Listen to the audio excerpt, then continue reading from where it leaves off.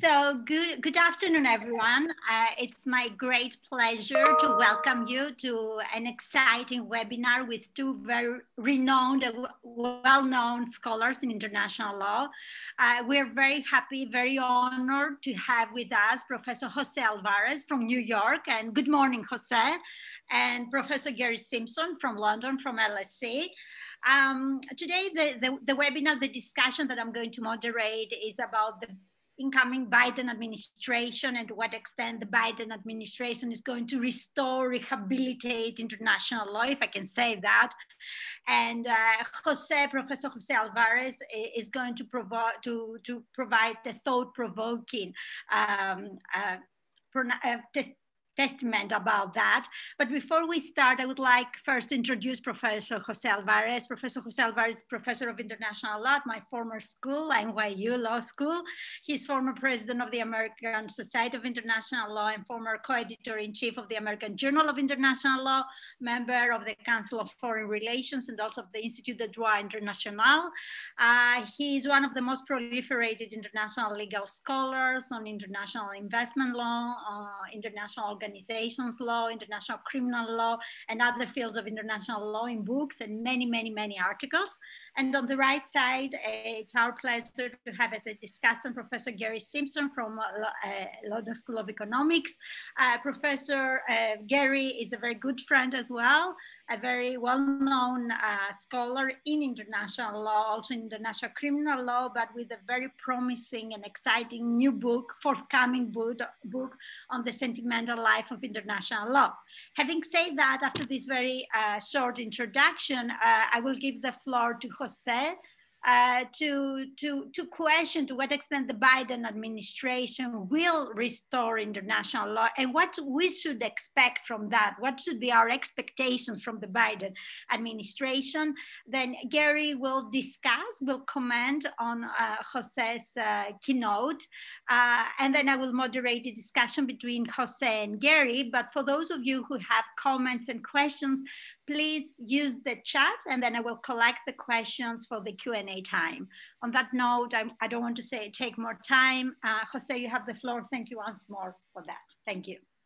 Thank you so much, Maria and Gerry, for uh, participating in this. So at the outset, uh, you know, I was asked to be a sort of Cassandra, but remember, Cassandra didn't have a very good fate at the end. Um, and also, I think it's always risky to try to predict things. Think of what we would be predicting we would be doing uh, if uh, we were talking about this in 2019. And I think uh, most of us wouldn't have thought that most of the time would be on Zoom the whole year of 2020 and perhaps even more. Uh, the other thing I want to stress is these are predictions based on the political tea leaves, not necessarily what I would like uh, of President Biden to do. As far as, uh, so my talk is also, you can find uh, a version of it, at least an early version of it at the NYU website. Uh, uh, and uh, and so we're welcome to go there. It will also appear as a far longer, much more footnoted law review article that deals with a number of other things that perhaps Gerry and I can get into. As far as international law is concerned, I want to start off by saying that uh, Trump was a consequential US president. And even though many of us are celebrating uh, what we assume uh, is his defeat, and, and, and, it is, is his defeat. The question is whether he'll actually leave uh, tomorrow. We'll see. Uh, but uh, many of us are celebrating that. Uh, and many of us uh, uh, think that this is promising in part because finally real international lawyers will go back to the room where it happens, uh, to quote both Lin-Manuel Miranda and John Bolton. Uh, but I want to uh, suggest that expectations for a full-scale restoration of international law, at least insofar as the US calls this a normal restoration, has to be tempered. And um, and I would suggest that there are eight uh, foreign policy trends that are likely to outlast uh, Trump. And I'll quickly just go over them very quickly at the beginning in case I don't get to all of them. First is a preference for non-treaty commitments that don't require approval by uh, the Congress of the United States. Second, a more wary, hostile approach to China. Third, skepticism, the World Trading System, the WTO. Fourth, continued reliance on trade sanctions to punish bad actors, and bad being a definition that the US uh, will apply either because of human rights violations or simply because uh, uh, of uh, protectionist actions, for instance. Uh, fifth, a caution, disinterest, skepticism, depending on the organization of the UN system. Six, opposition to most forms of international courts and tribunals. Seventh, opposition to never ending wars, including the humanitarian use of force. One way of thinking about it is rest in peace for R2P or RIP, R2P. Uh, and finally, eighth, a ever more ironclad commitment to Israelis uh, to Israel's security, and that's just quoting straight from the Democratic Party platform. Now you can expect uh, Biden to modify each of these at the margins, a more measured diplomatic tone, but make no mistake, I would predict that four years from now, all of these uh, eight trends will be at least recognizable aspects of US foreign policy. And some of this is the product of the world that Biden has inherited, but some is the product of who Biden is. President Biden will not, uh, even though he has announced uh, already um, uh, many executive orders uh, uh, to systematically dismantle what Trump has done, but that's not going to define his presidency. That is, unlike Trump, uh, AKA Termination Man, who sought to undo all things Obama, uh, Biden is simply too careful, too thoughtful, too bipartisan, too rational, too respectful of the rule of law to completely just destroy everything that Trump did just for the sake of doing that. And it's particularly likely to be now after January 6th when he, his overriding effort has to be to unite a nation that is perhaps not an exaggeration to say maybe on the brink of a political civil war and perhaps even a more dramatic one. And some are due the fact that this is a, uh, a sort of tempered restoration of international law uh, is due to structural uh, factors or limits that are internal to the US, a more or less equally divided Congress, a more resistant conservative federal judiciary, thanks to Trump, path dependent civil servants, uh, and limits on reversing federal regulations as opposed to uh, more quickly being able to get rid of executive orders. So just to start with the first one, I'll spend a bit more time on that one, that is uh, multilateral treaties. Uh, so the first 100 days of the Biden administration will not, not be filled with the US joining uh, multilateral treaties that much of the civilized world uh, joined years ago even now, with Democrats just barely in control of the Senate, do not expect the US to ratify the Convention on the Elimination of All Forms of Discrimination Against Women, the Covenant on Economic, Social, and Cultural Rights, the American Convention of Human Rights, the Rights of the Child Convention, the Law of the Sea Convention, or the Statute of the International Criminal Court. Do not expect the Biden administration to remove the US reservations, all 14 of uh, understandings, declarations, and uh, reservations to the Covenant on Civil and Political Rights, uh, and even the US reservations to the Torture Convention. Remember, this is a country that took 40 years to ratify the Genocide Convention.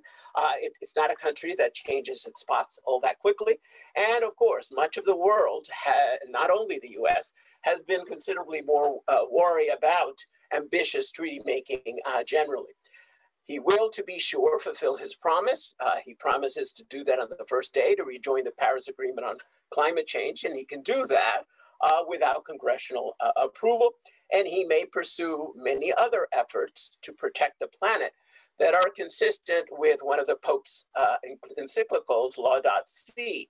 Um, and that may include reigniting the US and China uh, bilateral efforts to uh, address climate change uh, uh, the US is likely to join China in pledging to lower the level of its carbon emissions by a date certain. Japan has done that as well.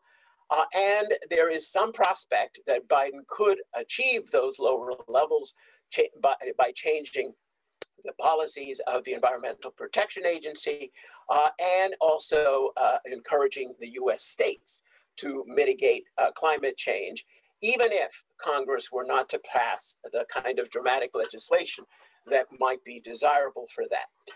Uh, and you could expect uh, President Biden to embrace related international initiatives that were rejected by Trump, such as the 2018 Global Compact for Safe, Orderly, and Regular Migration. Uh, this is a soft law pact, would need congressional authorization for approval, and it could uh, start to address the dilemma of climate change migration. And there are exceptional cases where I think you could imagine uh, President Biden attempting bilateral treaty efforts. He's certainly likely to try to return to a number of uh, nuclear uh, efforts that were uh, that were terminated or about to be terminated under uh, uh, under Trump with respect to Russia. So that includes the Intermediate Range Nuclear Forces Treaty that Russia that that Trump terminated due to Russia's violations. it could include the Open Skies Agreement. It could include the New START.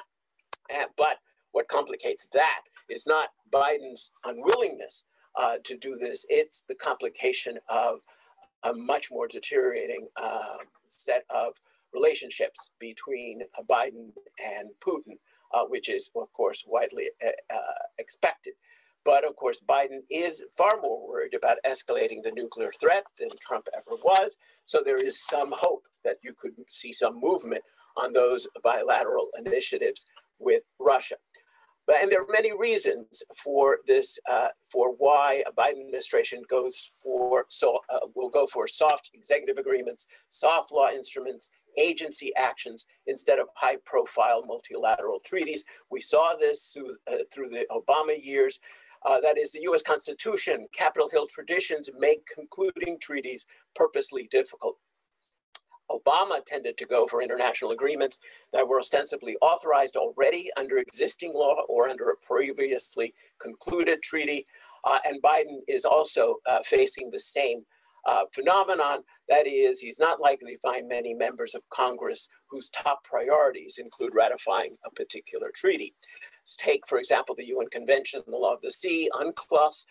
U.S. Uh, has a huge interest in uh, defending the law of the sea, and they're even stronger than ever before, given uh, potential threats uh, to that convention and perhaps even to international peace posed by China's actions in and around the South China Sea. And yet, no one, including me, predicts that the Biden administration will spend political capital to secure uh, U.S. ascension to UNCLOS, not only because I don't see uh, members of the Senate who really care about it to push for it, but also because the US, no less than China, has no present interest in using that treaty as a tool for settling law of the sea disputes through the modes of impartial international adjudication that that treaty to a certain extent compels.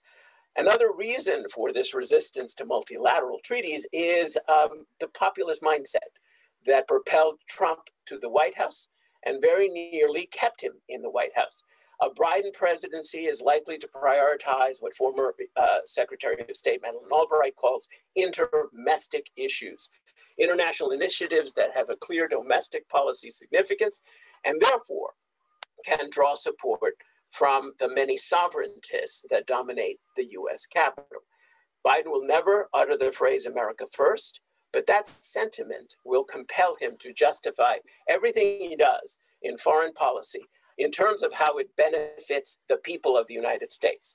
In what could be just a single term, Biden will spend precious political capital on filling out our wish list as international lawyers only insofar as he can justify that it satisfies the interest of his target audience.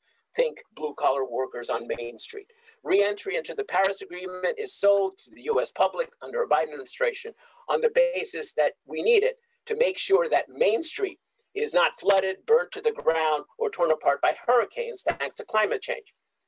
The US return to the WHO and its global scripts for testing, contract tracing, and isolation will not be justified because of some abstract commitment to multilateralism, but on the simple basis that we need to do this to keep more Americans alive and Main Street open for business. And this turn to intermestic uh, law and domestic law initiatives to satisfy that can be, to some extent, a recipe for enhancing a bit US compliance with international law. Even without passing new laws, we can expect proactive efforts by the Biden uh, Justice Department to protect the rights of African Americans. Uh, and that will mean proactive enforcement of US civil rights laws encouraged by the Black Lives Movement this will be changes to how law enforcement officers are disciplined and prosecuted for their actions at the state and municipal level, greater prosecutions of threats and acts by white supremacists, rules that eliminate private prisons, that reduce criminal penalties. All this will enable the US to have somewhat better answers the next time US submits its reports to the CERD committee or other human rights committees. Should the US return to the UN Human Rights Council, as I think is likely, it may even support an attempt to appoint a commission of inquiry to investigate structural racism in law enforcement, including in the United States. And this attention to uh, unequal racial impact of the current pandemic, as well as climate change, will enable Biden to draw synergistic connections between some international human rights and his other intermestic priorities. Uh, predicted efforts to defend the rights of organized labor, the right to strike, the right to organize, will elevate a bit uh, the credibility of the US uh, with respect to international labor rights and the ILO.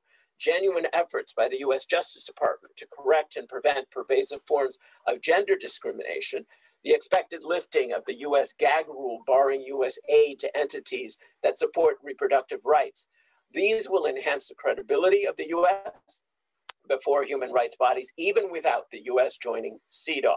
And Biden, who as president got ahead of President uh, Obama by endorsing same sex marriage, is also likely to embrace LGBTQ priorities identified in the Democratic Party platform. That means he will eliminate the transgender ban on military service. He will appoint senior leaders at the State Department, USAID, the National Security Council, for which uh, these rights are a priority.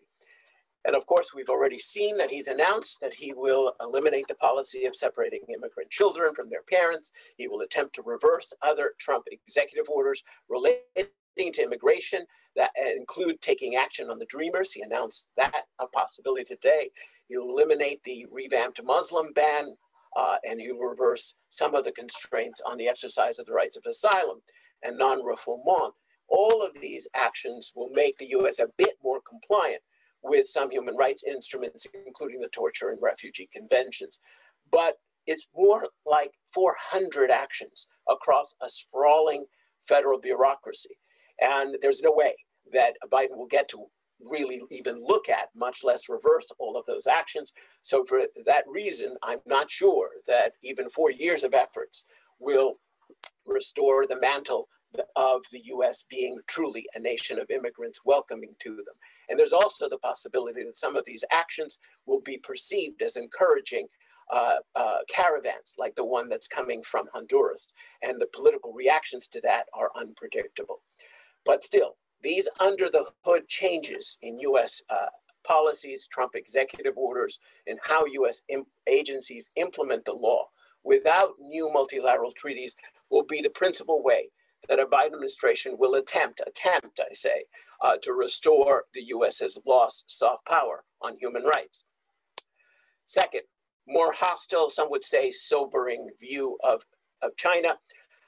Unlike some of the advisors that were touted uh, to advise Biden, who thought that it was just a matter of how China gets to global domination, Biden is more nuanced when it comes to China, but don't expect a full reset to the early uh, Obama years, where there was still hope that China will uh, be a law abiding member of the liberal international order.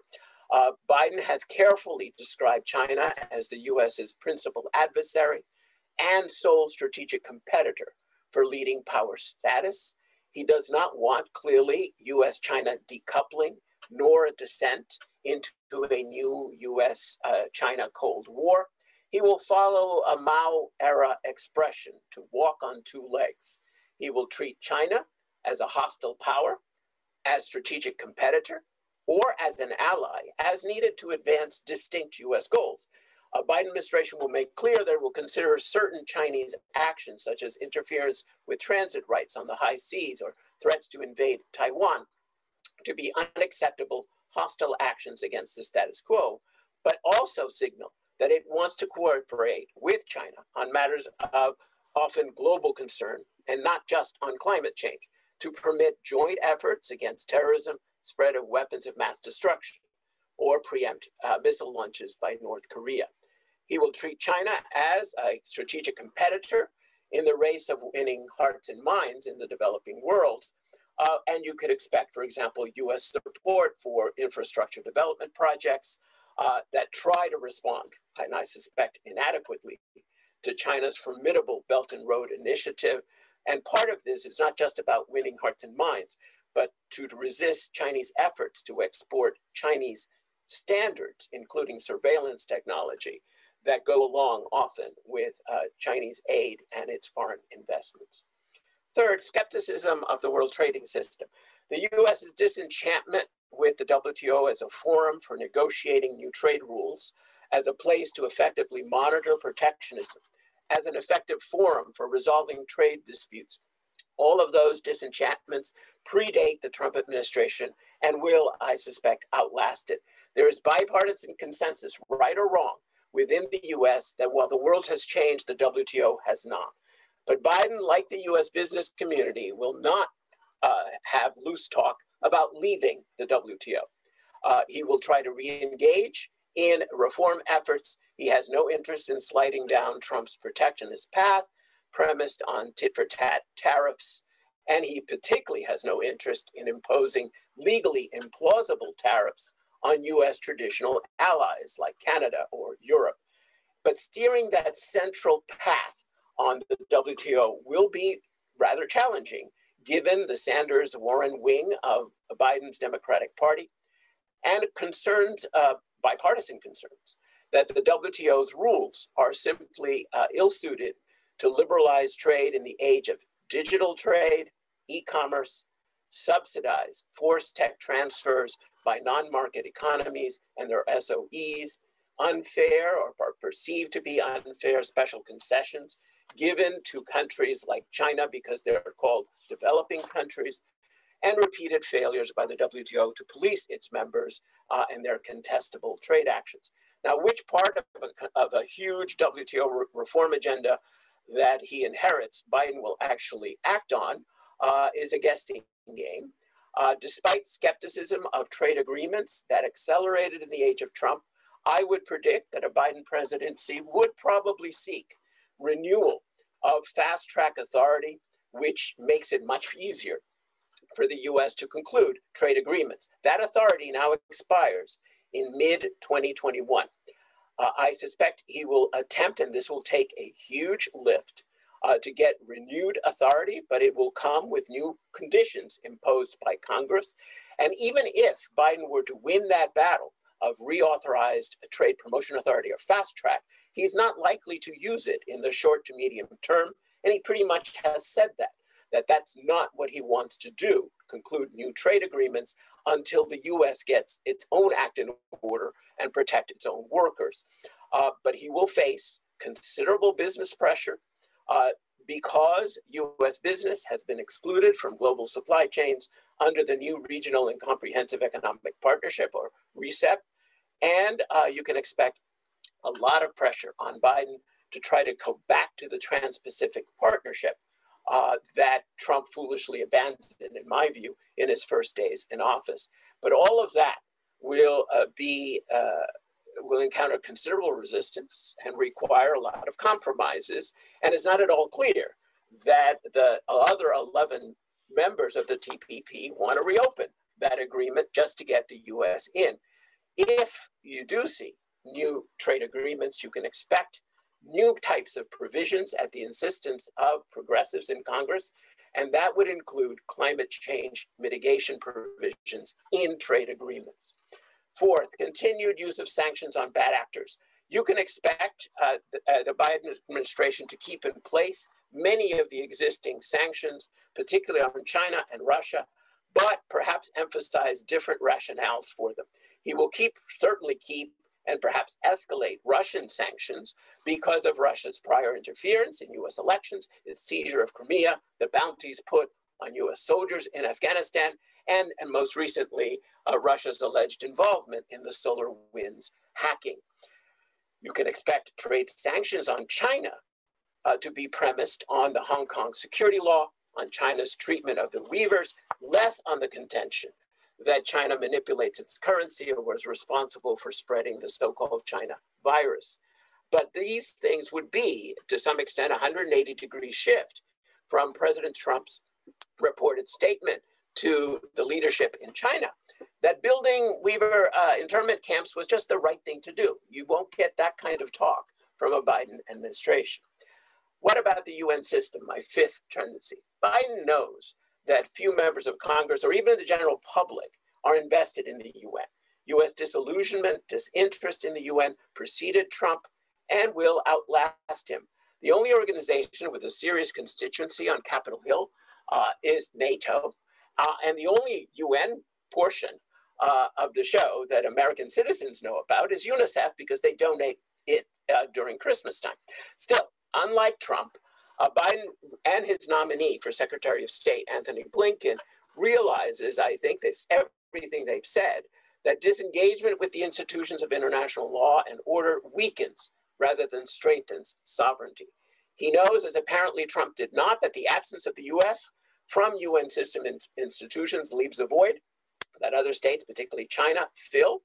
And, uh, and his nominee for UN ambassador, veteran diplomat Linda Thomas Greenfield, will certainly take seriously UN's, uh, the UN, re-engage with the UN, including the Human Rights Council and the WHO. But Trump's withdrawals and wariness of such institutions, however misguided, uh, will uh, provide Biden with leverage and also impose some pressure on, on his administration to return to these organizations, but also uh, try to address US grievances with them. The Biden administration will attempt to resume global leadership of what remains of the tattered liberal international order by insisting on institutional reforms to make these, quote, work as intended, at least work as intended as the US would have them work as intended. So if reelected to the UN Human Rights Council, you can expect the US will express displeasure over the Council's recent decisions to admit China, Saudi Arabia, and even Cuba to its ranks, remind the Council that its membership was supposed to take the human rights records of its members into account. He will resist China led efforts to turn the body's universal periodic review into what I think many people now think it is an empty celebratory occasion to commend human rights violators for their progress and he will look into, and he will try uh, as a, a, member to oppose recent council resolutions that, for example, denigrate the need to protect human rights defenders. As far as the WHO goes, uh, he will try to fix the WHO, not leave it. As a re-engaged member of the WHO, the US will pay the dues that Trump withheld, but also attempt to use that financial leverage to back institutional reforms and also uh, to secure uh, something that China is apparently resisting a genuine, candid assessment of what the organization did wrong from the time the first COVID test emerged in China through to the present day. A president elected, in my view, largely because his predecessor failed to contain a pandemic. You can count on that president to see threats to global health as a national security threat and act accordingly. And our new healthcare president is likely to take seriously the premise in the WHO's constitution that there is indeed a fundamental right to health. Unlike Trump, President Biden will agree that the failure of one state to prevent the spread of a contagious disease presents a common danger to all. All states benefit when each protects the health of its inhabitants. And like China's president, he will temper a bit vaccine nationalism by contributing to and joining COVAX, the alliance that tries to ensure that at least some vaccines uh, go to and are available to 92 low income countries. Number six, aversion to most international courts. Biden will only tinker at the margins with respect to US's traditional reluctance to submit to supranational forms of adjudication. Uh, he is not likely to resolve the stalemate over the WTO's appellate body merely by saying, okay, we'll just agree to appointment of new appellate body members. Uh, instead, he is likely to back proposals for some reforms of, uh, of that uh, body that were rejected by Trump that have been backed by a group of states. And I'm thinking of, of some of the reforms led by Ambassador David Walker of New Zealand. These reforms include a renewed commitment to judicial minimism in terms of WTO treaty interpretation. I'm not saying that exists, by the way. I'm saying that's the perception. uh, and, and are likely to be treated by the US as sort of a quid pro quo for bringing the WTO dispute settlement back to life. Uh, a very difficult symbolic issue is whether or not uh, China will agree not to be treated as a developing state. There, I would suspect that Biden will try a, a, a few trade offs. China, he would argue, might be persuaded to acquiesce to such a change, which is more simple than anything else, given the few benefits that really mean much with respect to China. Uh, if the US were to accept recent panel holdings like US tariffs on certain goods from China, that ruling found that US tariff measures that were taken in response to intellectual property complaints uh, and that the US took these measures, uh, the, the panel found them to be illegal. A more sober USTR should accept, in my view, a ruling like that. And I think Biden might be inclined to do so, and his U trade representative might do that. Uh, to force the US uh, and its tariffs to be more carefully justified under the WTO's Article 20 and 21 exceptions. It would reflect, I think, an old fashioned idea that the US gets reciprocal benefits from avoiding transparently bad faith arguments to justify trade actions. Uh, Biden administration needs to demonstrate that the US still supports a rule-based system for trade after what I think and what I think Biden thinks more relevantly are disastrous trade wars initiated by Trump. But no one should expect that the US government to become a sudden convert to the virtues of other international courts. A Biden administration is no more likely than President Trump to sign on to the compulsory jurisdiction of the ICJ. He will not submit to the jurisdiction of the Inter-American Court of Human Rights. He will not even accept, I suspect, or put any political capital in going into the ICCPR's protocol that would permit individual complaints against the US uh, to be brought before the Human Rights Committee. And he will not spend any time endorsing proposals for new global courts that some of which, or many of which, are popular with Europeans. A proposed World Court of Human Rights, an International Environmental Court, an International Anti Corruption, Anti Terrorism, or Anti Trafficking Court, a Multilateral Investment Court, or an Arbitration Tribunal for Business and Human Rights. Don't expect President Biden to spend any time on trying to make those a reality. At the same time, Biden can be expected to adopt a kinder, gentler policy towards the International Criminal Court, even while continuing to resist adherence to the Rome Statute, the Kampala Protocol, or uh, attempts by uh, the ICC to investigate crimes uh, in Afghanistan. The John uh, Bolton inspired executive order that penalizes anyone who dares work for the ICC will be among the first of many Trump era executive orders uh, to go. And I don't think you will see a revival of Article 98 agreements whereby the US will force states uh, to uh, the condition of aid uh, or assistance by the US will be don't send uh, anybody to the International Criminal Court from the US. Seven, uh, RIP to R2P. Biden was never a fan of Obama's decision to lead from behind with respect to NATO action in Libya. And like Trump, he will be adverse to starting and staying in never ending wars, even for humanitarian reasons. I suspect that there may even be a change in US uh, national uh, security strategy uh, away from preemptive use of force. And at the same time, you can expect his administration will be more engaged in trying to make the UN Security Council relevant, if not great again. Uh, that is just maybe a cap on that. Security Council relevant again. Uh, and unlike Trump, he would support, for example, future Security Council action to respond to pandemics as, the, as a threat to international peace and security. Uh, after all, the Council had already done that with respect to Ebola. And the eighth trend, ironclad security commitments to Israel. Biden uh, is expected to recommit to protecting Palestinian rights in any future Middle East peace deal. But uh, that now has to be undertaken in a new environment. US Embassy relocated to Jerusalem, an executive order recognizing the Golan Heights as part of Israel, the closure of Palestine's uh, diplomatic mission in Washington. Those are facts on the ground that will be, unlike other things that uh, other things like uh, Trump executive order, that have some strong political support. It will be difficult to change despite icier relationships uh, between Biden and Netanyahu. Uh, the US under Biden will continue to encourage these bilateral peace agreements between Israel and its former enemies, like those concluded under Trump with Sudan, Bahrain, the UAE. And those agreements may further complicate any possibility of a broader peace deal.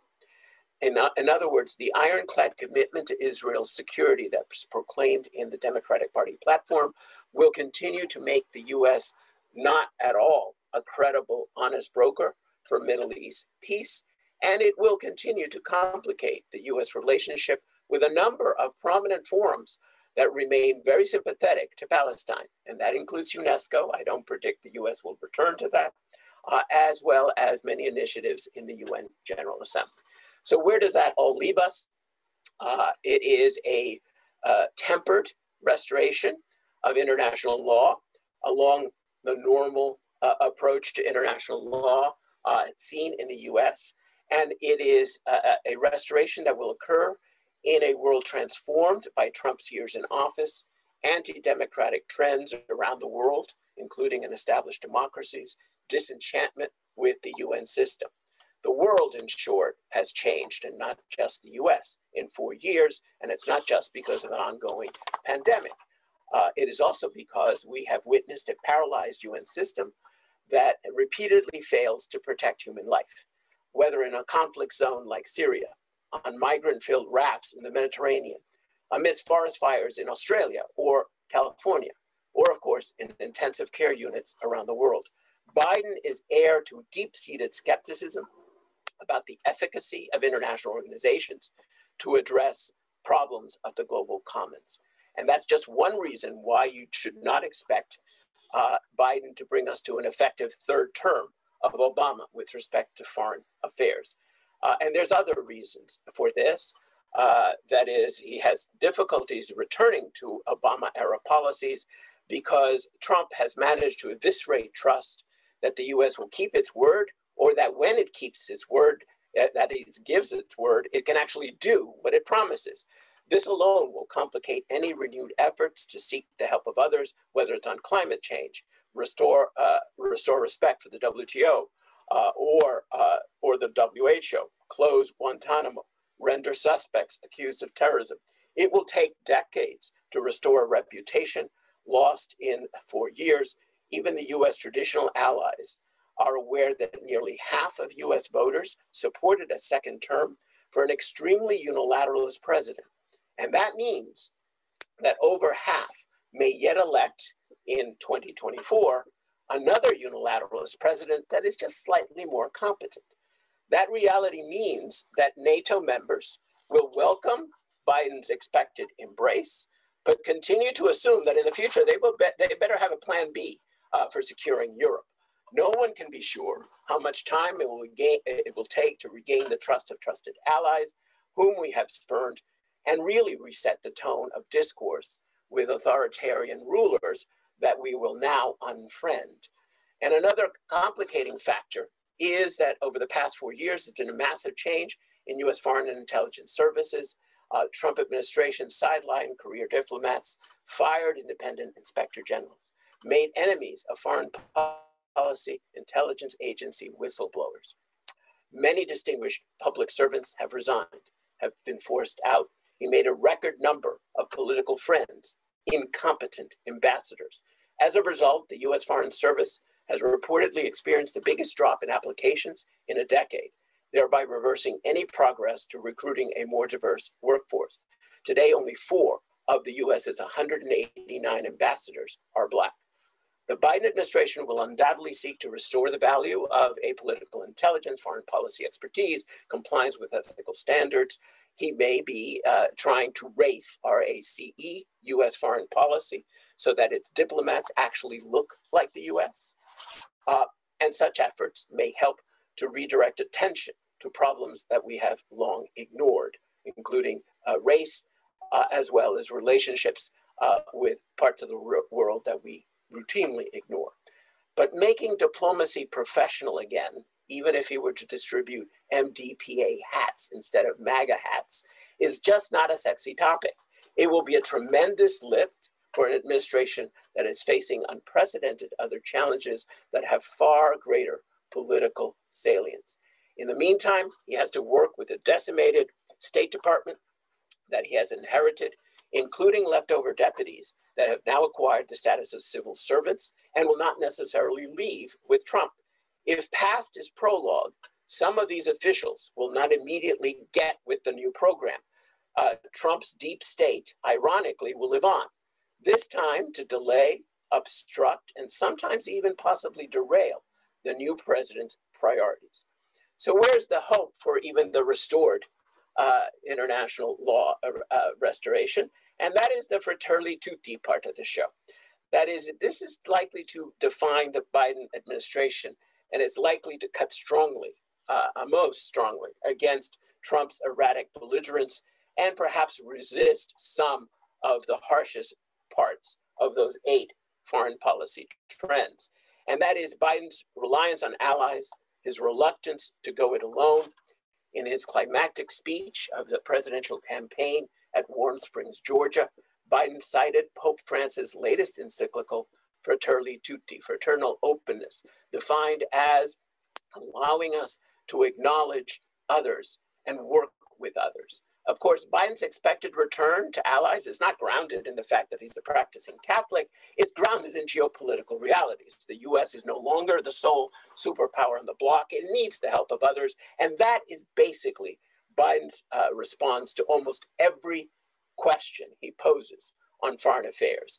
His response uh, is uh, he's no friend of Brexit. He wants to work with Europe. So perhaps uh, the, uh, the US UK trade pact will have to wait uh, while we uh, go forward with US European trade and elevate that.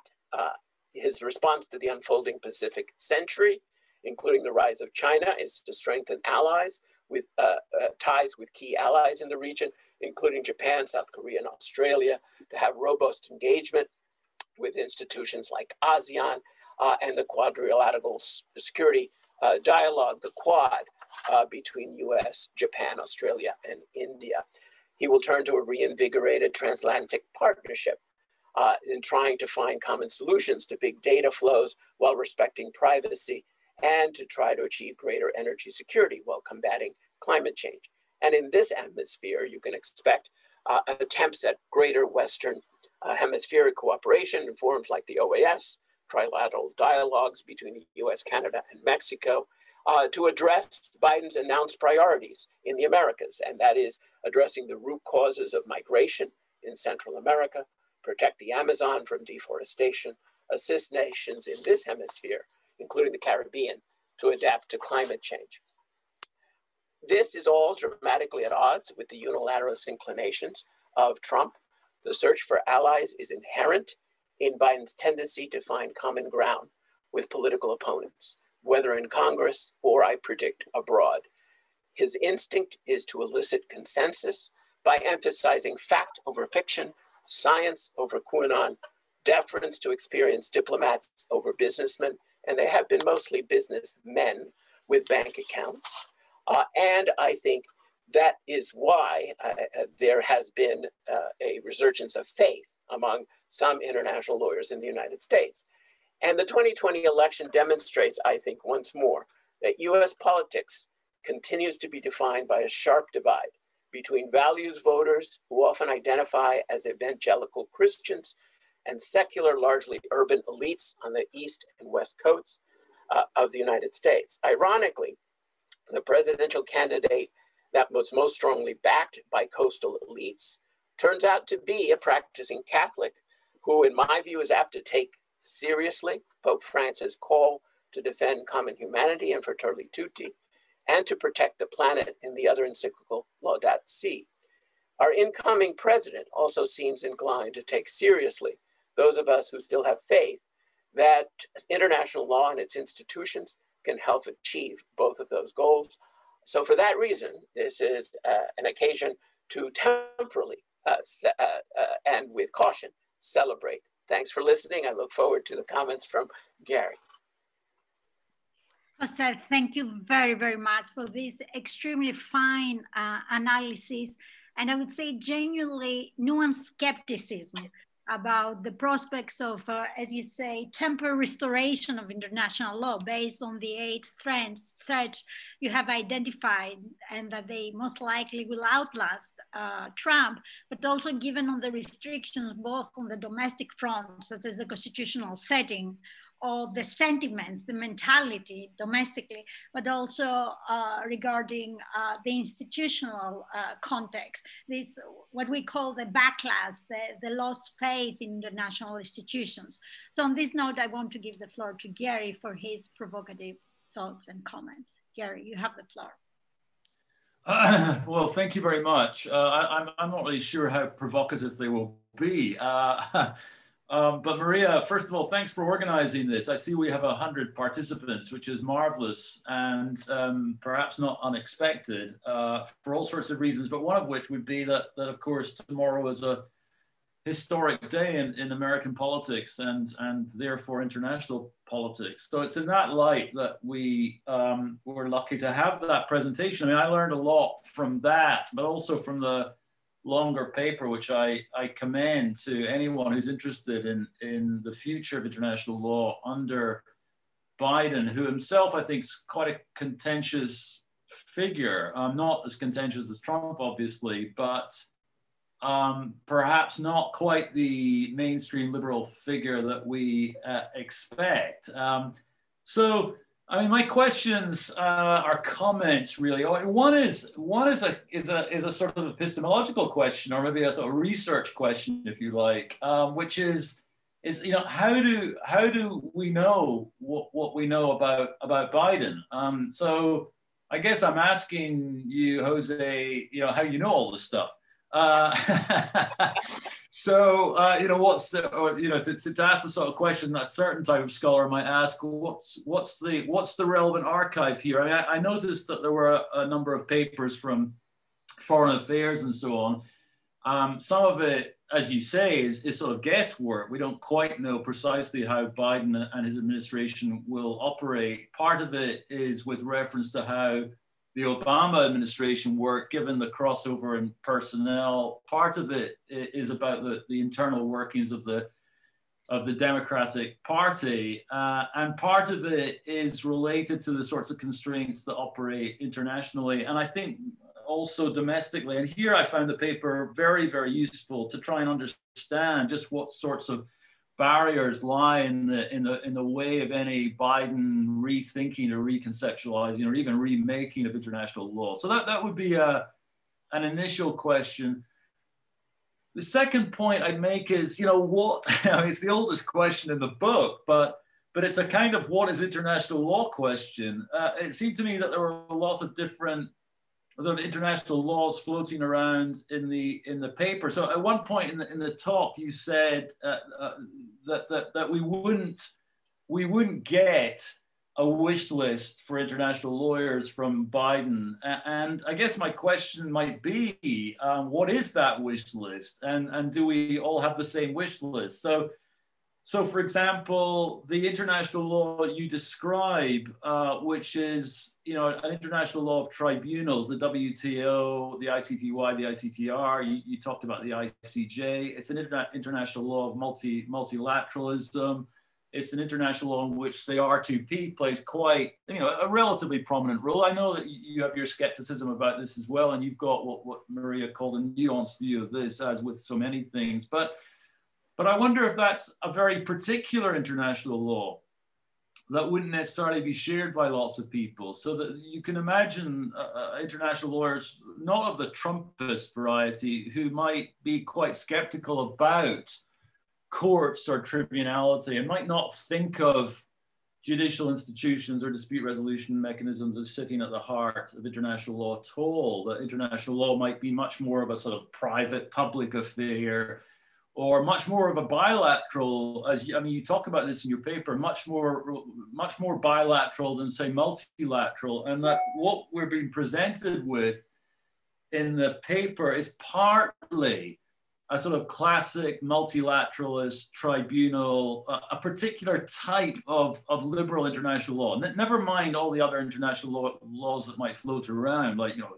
uh, critical international law, feminist international law, third world international law, where there might be a number of different concerns. And those concerns might be related to the problematic of liberal international law itself, of course, as you, as you well know, so that the, the restoration of that international law would not possibly be met with a great deal of enthusiasm in the first place. I have to say that critical international law and, and third world international law would be very torn about the uh, Biden presidency because you know Trump Trump puts people who are, puts the critics of international law in a slightly tricky position because um, sometimes, as many people have said, cr critics of international law sound like John Bolton. So no one wants to sound like John Bolton. No one wants to sound like Donald Trump. And yet some of the positions seem at least superficially similar. So the restoration of international law is both a sort of ambiguous enterprise for many, many people, but also a very complicated one because it's not clear to us what sort of international law is being restored. And that's why I, I found, uh, I, I, thought it was a strength of the paper actually. That's why I found the reference to Pope Francis and what we might even call, though this would be quite a historical, I suppose, a Catholic conception of international law, not the first one. I mean, it's not 500 years old as well. And I think the, the links between current papal pronouncements on internationalism, if you like, and those more historic ones would be a really productive sort of research agenda of itself. It's not something that I re remotely propose that you would have to do in this paper, but it's something that others might might want to take take up of the sort of one, 100 guests guests we have here. So so I think that's a question I have as well. And it's, you know, it's partly a question of, the, of, of style. What style of international law we want? We, we may want international law to do lots of things,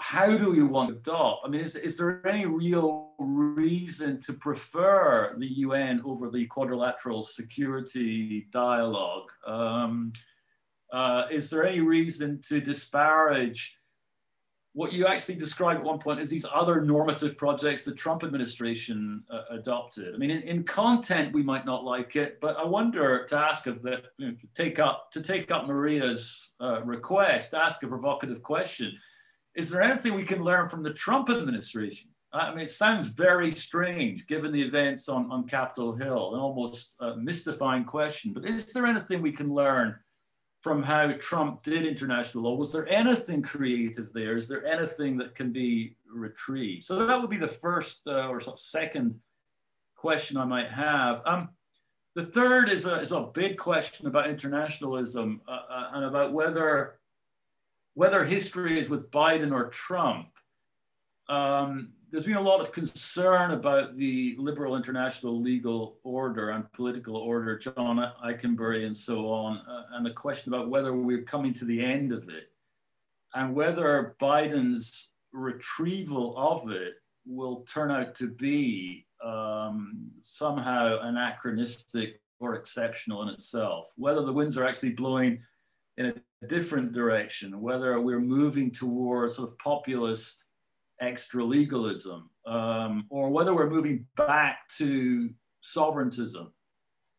Uh, and I guess that even raises a question about whether these forms of sovereigntism themselves are sort of built into the structure of international law, which has always understood itself to be a conversation between sovereigntism, maybe even populism, and multilateralism and internationalism. So whether a sort of broad conception of international law um, it takes in all of these positions somehow, whether this is a debate internal to international law rather than a debate between sort of international lawyers on one hand and recidivists who just can't stop breaching international law on the other hand, the, the sort of Trump and his supporters and so on. So that would be the the second the second question. Um, the third point, at least I think it's the third point. Um, I just wonder what effect that Trump, and again, you touch on this in the paper, what effect Trump will have on Biden's ability or the United States authority to now intervene in international affairs. So, you know, the, the paper does what many of us do, which is it sort of speaks from a, a center outwards uh, and sort of asks questions about how we might control Iran or North Korea uh, or deal with the Middle East or ISIS and so on, and also how we might try to understand what you call the WHO's um, failings. But I wonder from the rest of the world if that's the way it now feels or is experienced. Uh, I wonder, just to speak from the United Kingdom, Britain still imagines itself to have a certain degree of authority and weight in international affairs, but I think it squandered some of that uh, in recent uh, years, maybe even decades, going back to the, the Iraq war under Blair, but certainly under Johnson, who doesn't seem to have a good feel for internationalism. Um, Brexit being just the latest example of that. And, and though we feel the need to pronounce on vaccines and so on the British really have lost their authority on COVID. It's, it's, it's dealt with a, you know, with, with world historical disastrousness. And, and yet we keep having this reflex of saying, no, we're going to ban flights from Portugal because they're dangerous out there, or we need to reprimand the WHO for its failings. And yet I just wonder if we have the, we have the authority to do that anymore. Um, I don't want to bombard you with a million questions. So let me let me just come to some sort of conclusion. I, I, really do want to get into the issues of friendship and the idea of this Catholic conception of international law because I, I found them so interesting. And there has been quite a bit of writing on friendship in international law and relations over the last over the last 10 years. But my my last question is really about the relationship between um, Biden and your portrait of Biden and you know, the internationalists rather than internationalism. Uh, you, you, you, you refer to businessmen with big bank accounts being very important under Trump. Well, but of course, businessmen with big bank accounts are very important to that story that Scott Shapiro and Oona Hathaway tell about internationalism in general, going back to the the Kellogg-Briand Pact. And I, I, I, I, just, I think we can set aside the whole Kellogg-Briand argument because not that many people, certainly in my circle, take that part of the story very seriously. But the other part, which is that something called internationalism developed in the 1920s and continues to be something wor worth holding on to is very, very important. And there are lots of debates about that. And I wonder where you situated um, Biden in that particular story of internationalism. In fact, where you where you situate your own paper in that in that particular story of internationalism. So that I mean, I just I, just, I read your paper alongside a piece by Tor Krever in the New Left Review, which was a, a an absolutely vicious review of of the Shapiro Hathaway book um, from a kind of left critical perspective. It was so interesting reading sort of Shapiro on one hand, you on the other, and Craver on the other, because you've uh, you know occupied an unusual position in the International Legal Academy, one that I'm you know quite sympathetic to. The idea of trying to steer some sort of middle position between the triumphalism of the Hathaway, the Hathaway uh, Shapiro school of internationalism, and the skepticism of critical international law. Wow. Uh, so, okay. So uh, let me attempt to address some of them. The first one, I think, is the easiest one. That is, how do we know all of this? Well, in the case of Biden, we do have probably the longest career trajectory of any candidate for president in a long time. Yeah. We have a lengthy record in, as head of foreign affairs, uh, lengthy record as vice president and now an increasing uh, evidence that I didn't have when I started the paper, uh, but I would have predicted of the types of people he is now seeking to nominate, uh, and in and and now with uh, just enough Democratic control that my prediction is all of these will eventually be confirmed, with the possible exception of the Secretary of Defense for particular reasons that don't affect uh, so much foreign, uh, foreign policy. So we have the people, we have his career, And among the people, we also have uh, uh, Biden's longstanding allies on the Hill. So somebody like Senator Chris Murphy, who's likely to be quite influential in terms of foreign affairs, uh, he's the one that says, look, uh, the Biden people and I in Congress will prioritize the US EU relationship over the US UK trade deal. That's getting pretty specific, mm. but that's an indication of where Congress is likely to be and not just the Trump administration. When we have Antony Blinken making statements, not just now, but others in the past, about Brexit being a total mess uh, and what a disaster that was, that tells us something about the Biden administration's likely approach, uh, including not just to Brexit, but perhaps to Boris Johnson, right?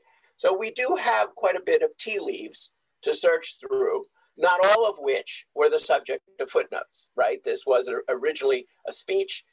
Uh, I'm not sure if you got the law review version of it with all the footnotes. Uh, even that won't give you won't give you all of that. So there is quite a bit. It doesn't mean that my predictions are accurate. It means that I'm basing it on sort of traditional tea leaves, and we have a lot of them in the case of Biden. We have a lot less with respect to Kamala Harris, right?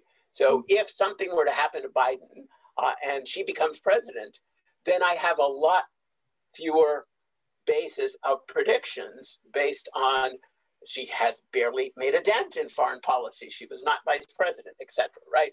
So that's that. The harder question that you pose is um, what's my uh, style of international law, or what's the basis for this? So I guess what I am trying to suggest when I talked about the wish list of international lawyers uh, and their likely reactions to my eight foreign policy. I'm sitting in the office of Tom Franck. And so I'm thinking, what would Tom Franck think of these things? So I'm thinking traditional, hmm. progressive, international defenders of the liberal international order. Tom Franck was not a bomb thrower, but he was sympathetic uh, to critiques of international law. He was not unlike me. Maybe it's good that I'm in his office. Uh, and but I'm also suggesting that these are predictions based on what I know of Biden and predictions based on what would be the reaction of, oh, let's just take Anne Marie Slaughter. Uh, that is, uh, if you take a, a, survey of the 25 uh, editors of the American Journal of International Law, uh, do they back international courts? Yes. Do they back multilateral treaties? Yes. Would they like us to sign all the human rights treaties in sight? Yes. Uh, would they like it if we were actually more involved than we were uh, on a number of institutional fronts? Where things get a little dicey is the details of how you carry out the goals, as you rightly point out. And many of them would be just equally sympathetic not just to the UN system and traditional international organizations, but to using the Quad, to using G7, G20. Uh, in that case, uh, they have certain goals in mind, whether it's encouraging the SDGs and how do we achieve that, and using the tools of international law. And you could get differences of view with respect to that. Uh, so you are quite right that this is not the wish list of Twailers, for instance uh, nor the wish list of, say, uh, uh, conservative international lawyers in the United States, such as uh, Curtis Bradley or hmm. Jack Goldsmith, right? Uh, so they wouldn't care if we uh, adhere to a multilateral treaty or not. and, and to some extent, the fact that you have international lawyers of varying persuasion on questions like that help me to predict that there will be less push for ratifying CEDAW because the answer of a moderate like Biden will be, well, if I can accomplish the goals of gender uh, equality, uh, at least within the confines of US law, let me try that first, uh, rather than spend the political capital to ratify a treaty that conservative international lawyers will say is just trying to get rid of Mother's Day, according to the uh, the Committee on uh, CEDAW, right? Uh, so uh, so that's the that's the the sort of political calculation.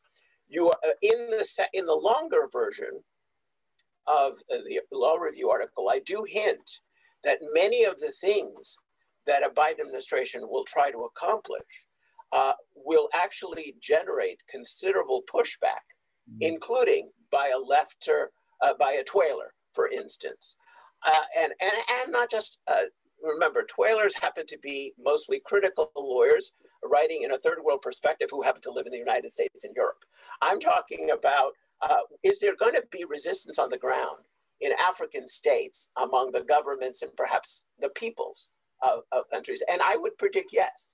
I think if the US were to push certain reforms of the WHO that prioritize expensive uh, global scripts for testing, contract tracing, and isolation, and you're sitting in a country that has uh, other issues uh, and would like, uh, for example, uh, to investigate the causes of uh, diseases that migrate from animals to people, and maybe we should prioritize that uh, rather than uh, some of these other techniques.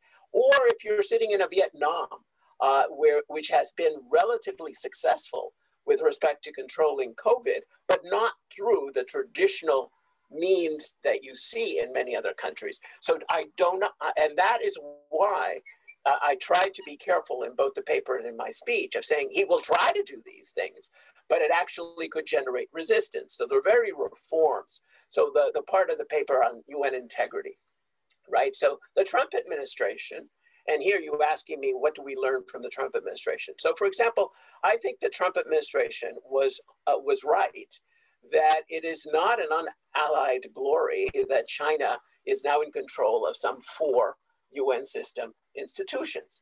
And the way some of those elections were conducted uh, through uh, supervising in, in, the worst fashion of, say, the US Cold War uh, that you are well familiar with, where everybody keeps track of who's voting for whom, and then everybody gets punished for the wrong vote. China is basically deploying those old tactics that the US itself and Russia did with respect to UN elections. And so it wasn't wrong for the Trump administration to point it out that, uh, that China was undermining uh, whistleblowers uh, and the integrity of UN elections. But let's face it, what credibility does the Trump administration have on both fair elections and protecting whistleblowers?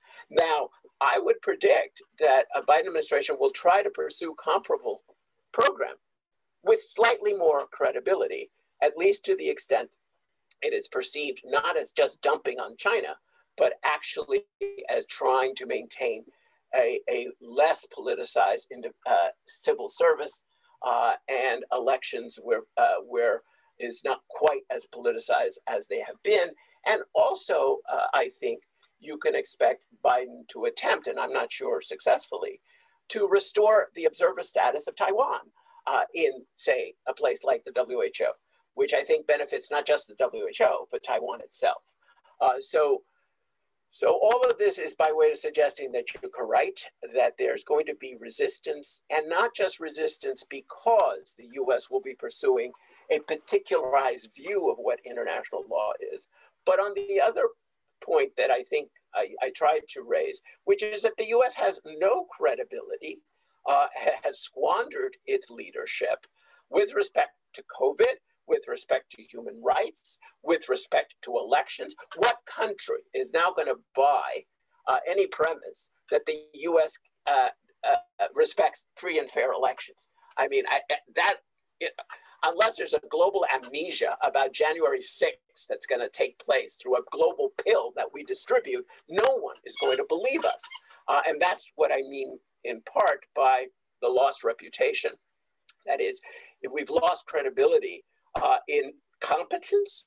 We've lost credibility in uh, in principles, uh, and this is just attempts at the margin to try to restore it. And it will take more than one election, because if we get you know another unilateralist in four years, this will be, as you say, a blip uh, on this, which means that you are maybe quite right that we are just talking about uh, a blip in an overall a decline of the liberal international order.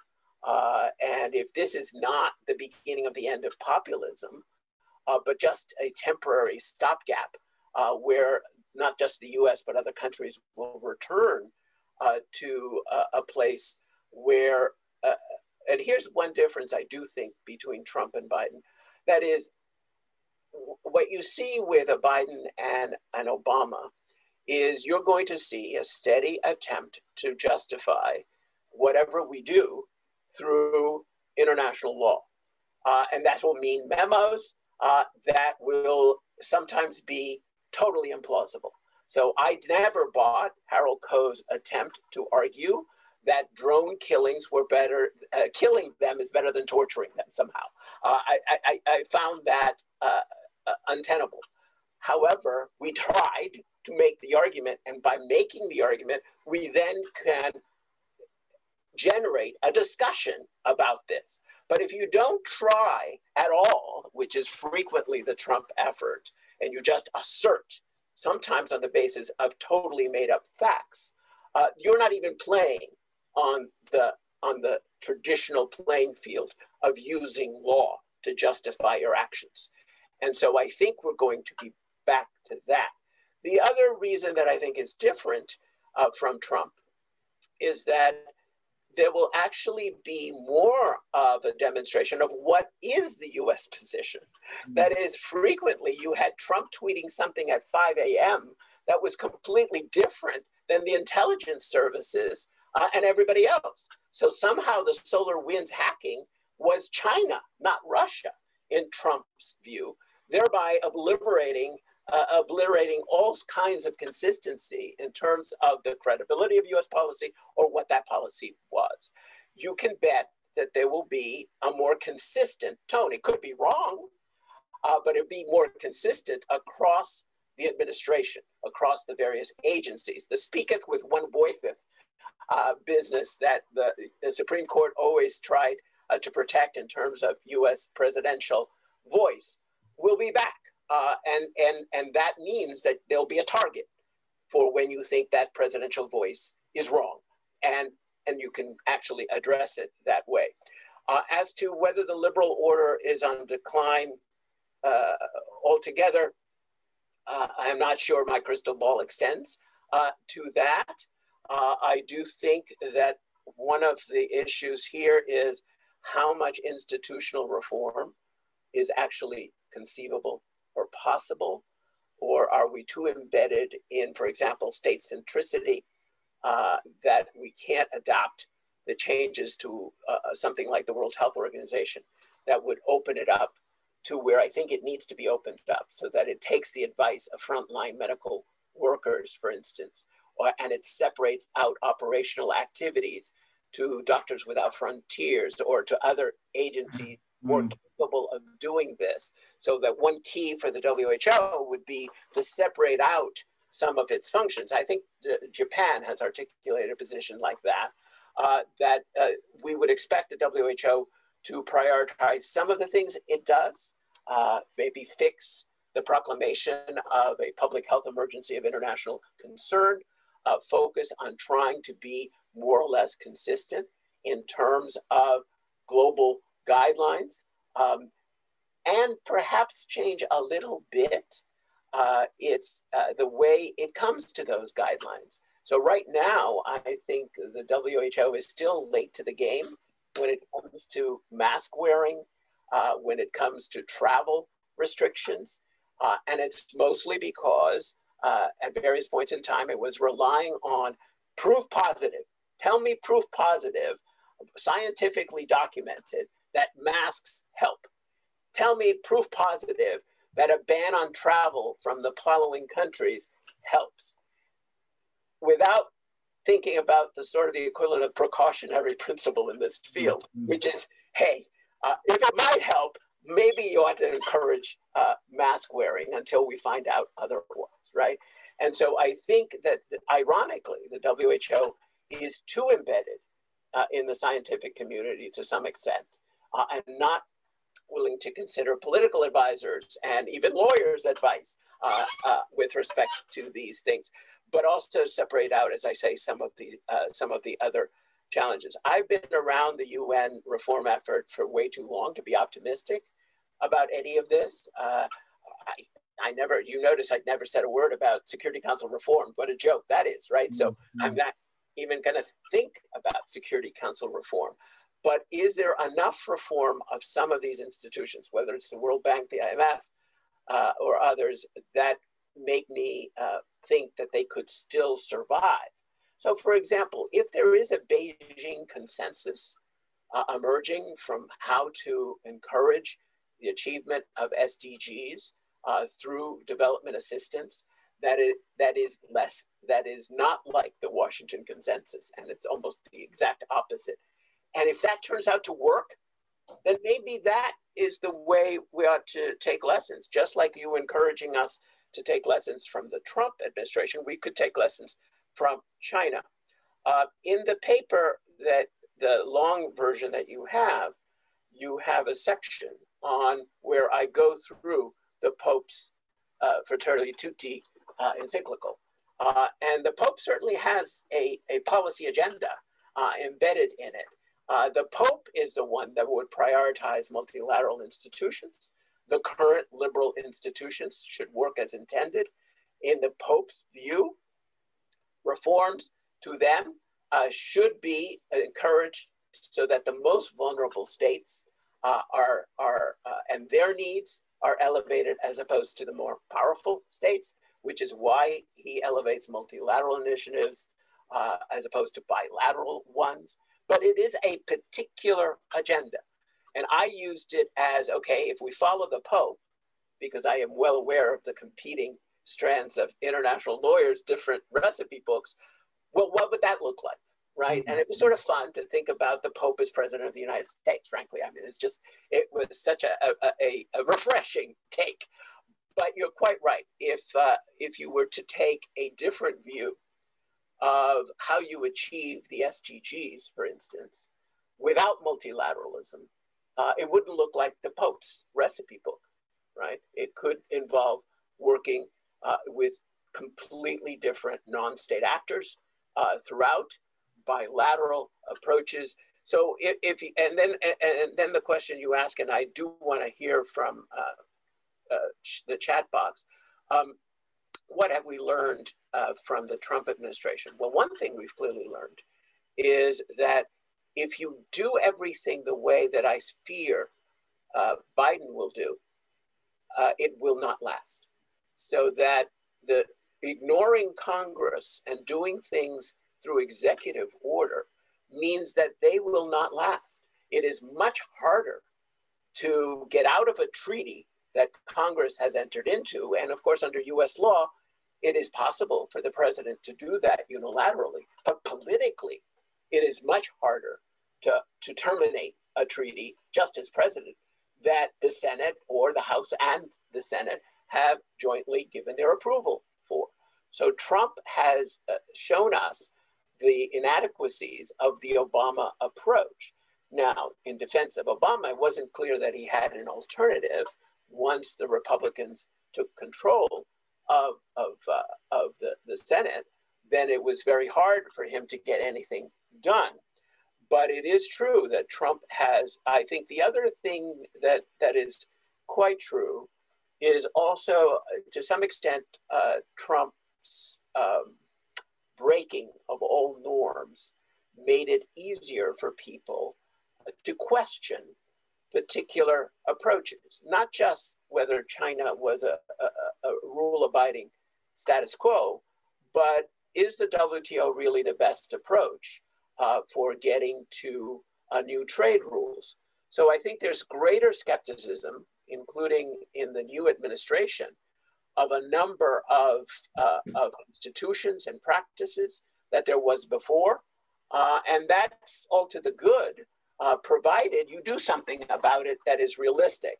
The problem with Trump is he may have pointed out these things, but he didn't do anything about them. And he tended to exacerbate the very problem uh, that you uh, that he may have pointed out. So yes, pointing out that the WTO is a disaster when it comes to dealing with five, six, and seven should, okay, then do something about it that would help you work with others to achieve those goals we never saw that sort of follow through on any of the Trump uh, criticisms of the existing international order.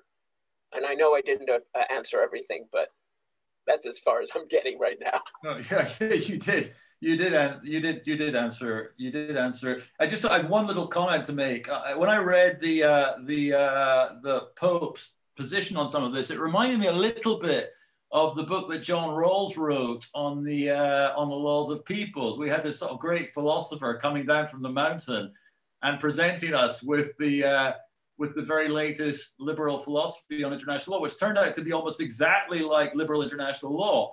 And I, it felt to me as if the papal pronouncement was a bit like that. Uh, it was more or less what we had, or what multilateralism is at least imagined to be amongst um, international law supporters. But Maria, um, Yes, uh, thank you very much. I, I, I, was following your fascinating discussion back and forth. Gerry, I was pretty sure you would say something about liberal, uh, mainstream liberal uh, multilateralism. I was I tried I was to avoid that phrase. Yeah, I was waiting for that. You know, uh, here we are. Uh, and Jose, thank you so much for your response. And uh, I have to say that several times myself, I wonder what would Tom think today? What would Tom think? What would he say about that today? Books are behind me because I inherited half his library. On occasion, there's a written remark on the margins. Yeah, and I remember working in this uh, room, you know, when I was doing my research for him. Um, I, I, we, we just have less than 10 minutes. So what I did was I was collecting some comments for Jose, for you, and then uh, unfortunately we have we have to, to, to conclude, and maybe, you know, I will conclude with one sentence.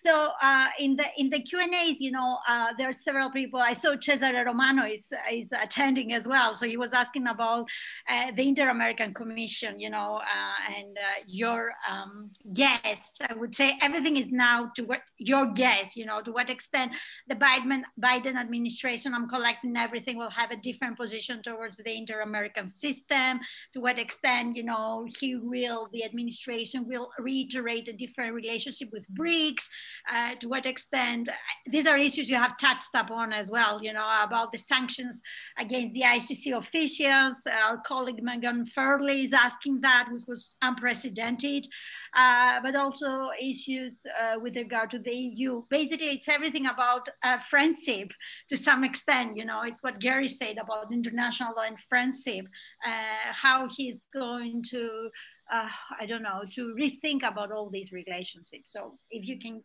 if you have any word, I know you touched upon that on your papers and you also. So I would predict uh, more generally that human rights will get a far more higher priority uh, and will be dealt with more seriously. So that if, for example, the Inter-American Commission were to issue uh, criticisms of existing immigration uh, policies and so forth, uh, I would predict that this administration uh, will either try to correct whatever the commission is pointing out, but will at least engage with it in terms of legal arguments and what uh, customary international law does or doesn't require, since the US isn't a party to the American Convention, but it is a party to the American Declaration uh, of, of Human Rights. I would also expect, and this is a key thing, that the US will actually try to fill, to the extent it can, positions that are now vacant throughout UN system organizations. The US is not a party to the Inter American Court, but it can have a role in the Inter-American Juridical Committee, in all the variety of settings. Uh, and I, last time I checked, uh, a lot of these positions were left vacant, uh, right? And I think what you could expect is serious international lawyers uh, being uh, appointed to those that require uh, legal background. and it matters. I happen to think, and this is, I'm old fashioned that way, that that having the US at the table uh, in a serious way in all of these institutions, which includes the Assembly of State Parties, for example, as an observer in the ICC, makes a difference. Not always to the good, uh, but we saw the difference it can make, good or bad, if you look at the Kampala uh, agreement on aggression. That is, a lot of it was influenced, including the understandings by uh, Harold Koh as an observer there. And the truth is, in the past four years, we have been present, I understand, at the Assembly of State Parties, but have mostly been silent and not sent uh, people of the kind of elevation uh, and seriousness of somebody like Harold Koh. And there, for example, uh, the ICC has a huge agenda for reform coming out of its independent commission that the Assembly of State Parties asked, and this is a, a an interesting document uh, that is quite damning about how the International Court, uh, uh, uh the International Criminal Court and its prosecutors handle the prioritization of cases, manage uh, the relationship between judges, uh, handle evidence, a variety of things, all of which are low hanging reform fruit as far as I'm concerned. Uh, and what it takes is serious people going through them. And that includes sensitive points about are they really prioritizing the types of cases?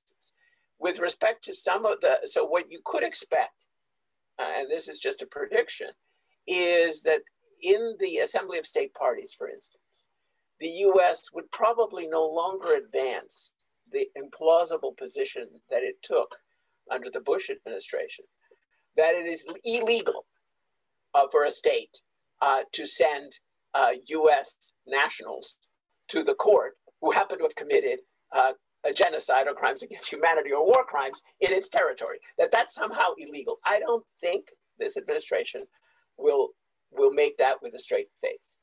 So, what will they say about Afghanistan? Well, they'll say something like this, and this not necessarily publicly, but in the corridors. Look, guys, we're going to be prosecuting one Republican administration already. You want us to tackle another Republican administration for torture allegations that are quite publicly well known. That is, we had congressional uh, testimony on all of this. We have a huge record of everything from John Yoo's memos uh, uh, elucidating torture, uh, and we and and ever since Obama, we said we were not going to do this. But Obama was the one that closed the avenue for prosecuting these people. You want to reopen that politically. We're not going to reopen Obama's decision to prosecute these people. And frankly, we think you have more current uh, war crimes and other things to address than that. Um, and that's the answer, right? Whether the, the Biden administration will seriously pursue this question of we're an exceptional nation that has to be exempt from all of this because we're present all over the world, I think they'll probably downplay that, but they may believe it, by the way. I mean, this is part of having a traditional, uh, sort of a traditional foreign policy establishment, uh, which is what Biden is restoring. But what gives me hope is that at least these are people who are not given their jobs because they donated to the campaign and don't know squat about foreign affairs or international law.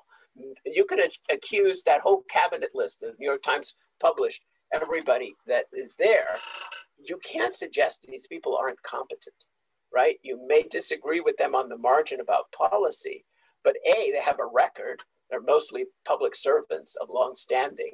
Uh, and I doubt that you will have the kinds of scandals of ethics that we have just gone through to great exhaustion, by the way, um, over the past four years. So you will see a steady hand, uh, and steadiness uh, has some merit um, uh, on this. Uh, but but whether the U.S. Uh, so I, have already suggested that I don't, I see this as a restoration to some extent of the old status quo, not a radical move, uh, even though principle you could see it. That is, remember the, uh, the, the constraints on getting through human rights treaties under US law uh, that suggests you have to go with two thirds of the Senate, which is a very high hurdle is a political constraint. You could decide to pursue those treaties through half of the House, half of the Senate. You just have to convince them that the Senate to give up those uh, priorities.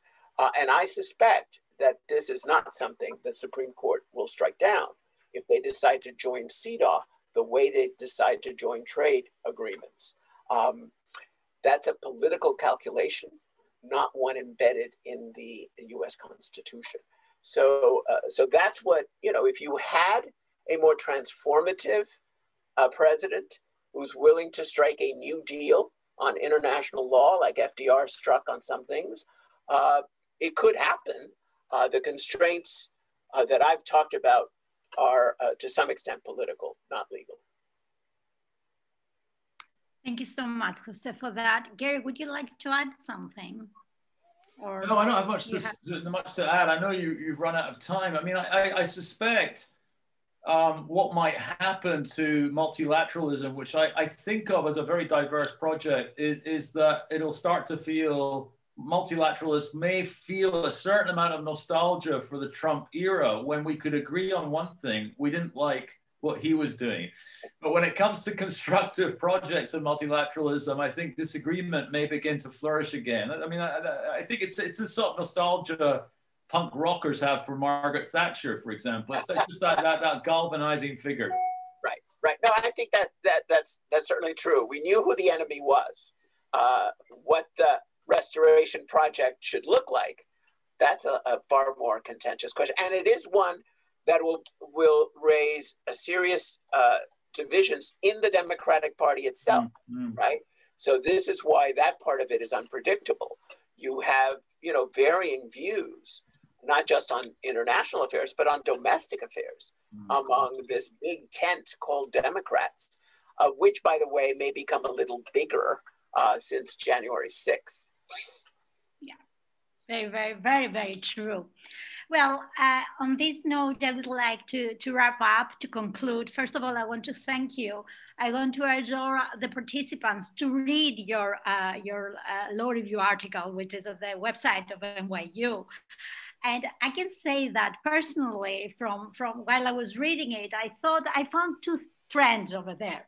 One was a call for moderation maybe it's my project because I believe in moderation, but the way I was reading it, I thought that it was it was a call for thinking of all the idea of the crisis or not of international multilateralism, what we had during the Trump administration, and what we can expect for the Biden administration via the lenses of moderation. And the second one was a sense of rea reality that I felt, taking it from Isaiah Berlin, because somewhere in your paper you say at the end of the day, maybe the return is what is normal behavior for USA. And that goes back, you know, to Gerry's question about the where, what is the direction? Like think that in other parts of the world, we don't think that this is uh, okay, normal, maybe for the US, this is the normal behavior, you know, what is for the USA.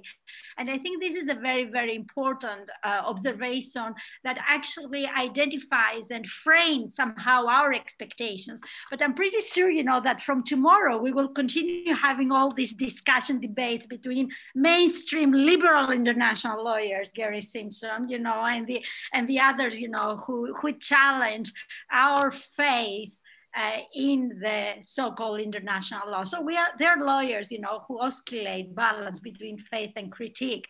And I think, you know, this discussion was the best proof uh, of, of, all this. On that note, tomorrow is a historic day.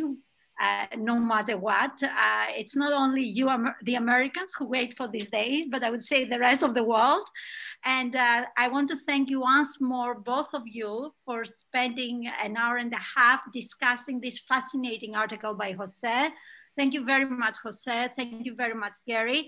And I'm looking forward to more meetings in person, you know, where we can we can properly discuss whether in New York or in London or in other places. Thank you all. And I want to thank all the participants and Danny very much for the technical support. Thank you. Thank you very much. And looking thank forward you. to you soon. Great, great Thank to see you. all. Bye, Jose. Bye, Thank Maria. you, Gerry. Take care, Maria. Bye. Thank you. Thank you all. Bye-bye. Thank you all. Bye.